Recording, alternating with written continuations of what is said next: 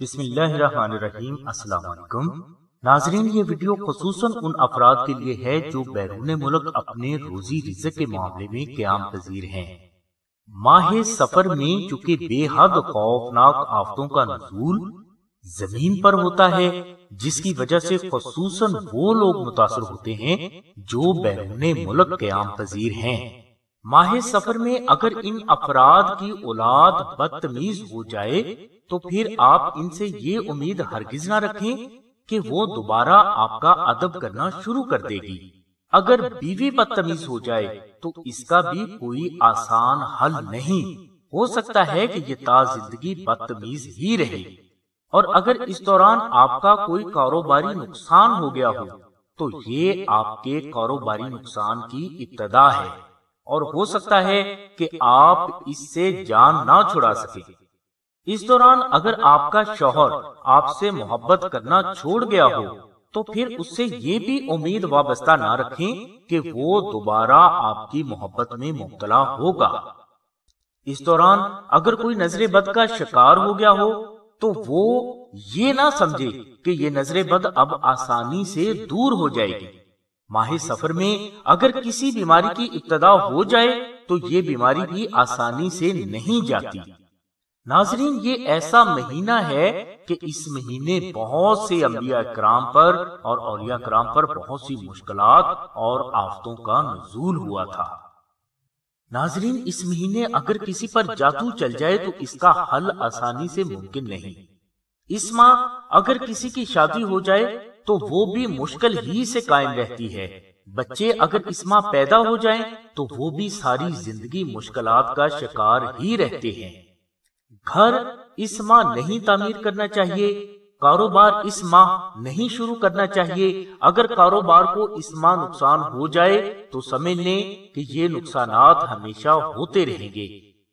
اس لیے اس ماہ تمام اولیاء اللہ نے صحیح صدقات و خیرات پر بے حد زور دیا ہے۔ یعنی اس مہینے آپ کو چاہیے کہ آپ اپنا اپنے بچوں کا، اپنے کاروبار کا، عزت و آبرو کا، اپنے والدین کا اور اپنے بہن بھائیوں کا صدقہ ضرور کریں۔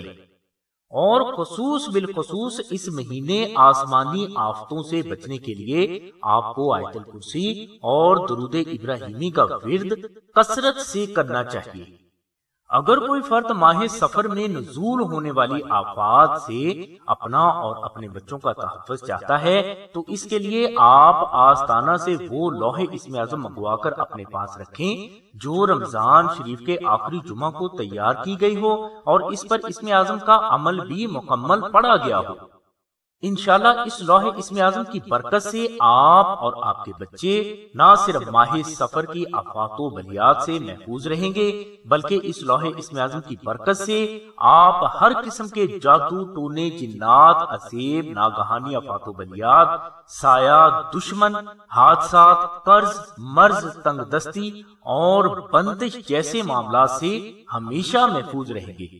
اولیاء اللہ فرماتے ہیں کہ لوہے اسم اعظم فرد کی پیدائش سے موت تک ہر آفت سے نجات اور ہر بیماری سے شفا ہے۔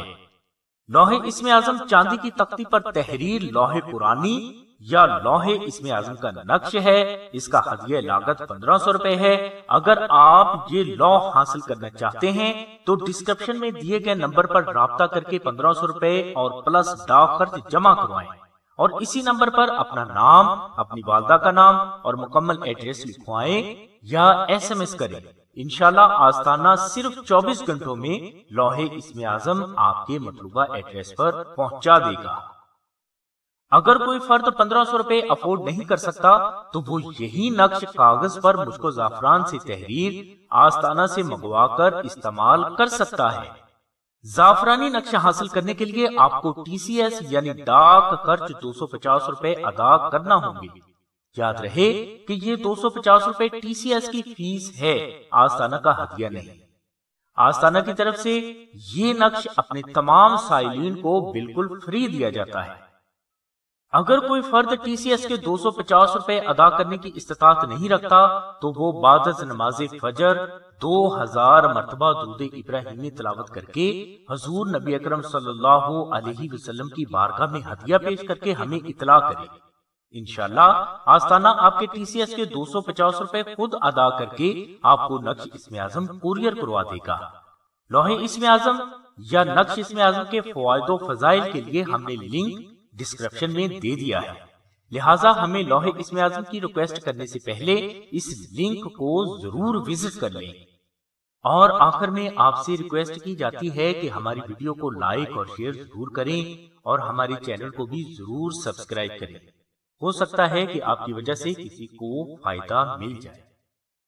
ہماری دعا ہے کہ اللہ تبارک و تعالیٰ کی ذات حضور نبی کرم صلی اللہ علیہ وسلم کے صدقے میں آپ کی سبھی نیک دعاؤں کو قبول فرمائے۔ آمین سم آمین، یا رب العالمین۔ الحمدللہ رب العالمین۔